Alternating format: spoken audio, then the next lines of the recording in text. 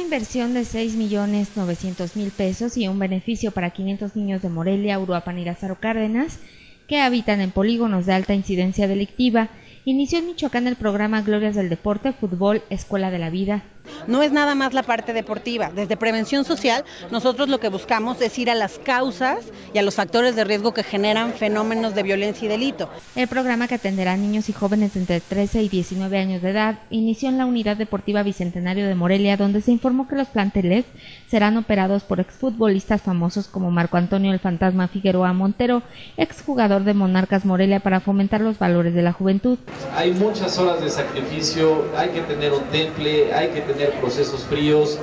y sobre todo hay que aprender a trabajar en equipo. Y para que Michoacán en este caso pueda salir adelante, tenemos, tenemos que unirnos todos. Necesitamos para evitar que nuestros jóvenes caigan en el crimen organizado, es primero hacerles sentir orgullosos de que son humanos, que tienen cerebro, tienen razonamiento y tienen fuerza de voluntad y pueden hacer lo que ellos quieran con la presencia de Raúl El Potro Gutiérrez Jacobo, director técnico de la selección sub-21 y varias personalidades del deporte y la política, inició la operación de las academias con las que suman ya 50 en el país. Para Cuasar TV, Fátima Miranda.